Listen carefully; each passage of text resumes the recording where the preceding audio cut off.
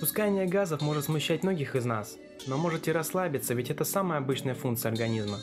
Так давайте разберемся, как происходит этот процесс в организме, а провоцирует его захваченный воздух, поступающий из разных частей организма. Немного воздуха мы заглатываем во время пищи, лишние газы поступают в кишечник из крови, еще некоторое количество образуется в результате химических реакций или из-за бактерий, живущих в наших внутренностях. Он содержит много газов, около 59% азота, 21% водорода, 9% углекислого газа, 7% метана, 4% кислорода. И только 1% наших газов составляет сероводород и микроптаны, которые содержат серу, которая и является причиной плохого запаха. А также он сопровождается звуком из-за колебаний прямой кишки. Громкость зависит от того, насколько сильно давление на газ, а также от уровня герметичности мышцы сфинктера. Почему газы плохо пахнут? Чем обильнее питание, тем зловоннее запах. Такие продукты, как капуста, сыр, сода и яйца содержат большие серы, поэтому газы после них могут выедать глаза. Люди пукают примерно 14 раз в день. В среднем человек опускает примерно пол-литра газа каждый день.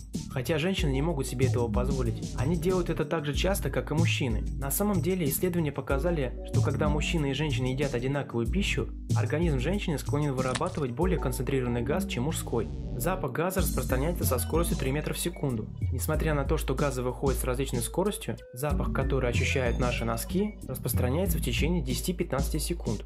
Сдерживание газов может плохо влиять на ваше здоровье.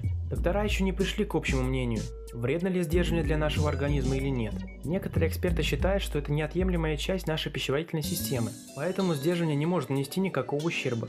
Другие полагают, что в лучшем случае это может спровоцировать метеоризм и другие не очень приятные симптомы. А в худшем, подавляя газы, мы рискуем приобрести геморрой или вздутие кишечника. Для некоторых культур разгазовка это не так уж и стрёмно. В то время как многие культуры считают, что воспитанной компании газы нужно сдерживать, существуют и такие, которые считают, что портить воздух в открытую это не так уж и плохо. В индийском племени Яномами в Южной Америке это воспринимается как приветствие, а в Китае вы даже можете устроиться на работу как профессиональный пердун. В Древнем Риме император Клавдий, опасаясь того, что сдерживание газов может плохо влиять на здоровье, издал закон, разрешающий делать ветер во время застолий. Человеческие газы легко воспламеняются. Как говорилось выше, метановодород, произведенный бактериями, делают наши газы очень легко воспламеняющимися. Поэтому некоторые считают крутым приколом на вечеринке поднести зажигалку своей задницы, результате чего образуется опасный язык пламени. Поэтому настоятельно не рекомендую вам проводить эксперименты. Если вы сдерживаетесь, то газы все равно выйдут во время сна. Даже если вы сжимаете задницу и терпите в течение всего дня, вы начнете газовать сразу же, как только уснете.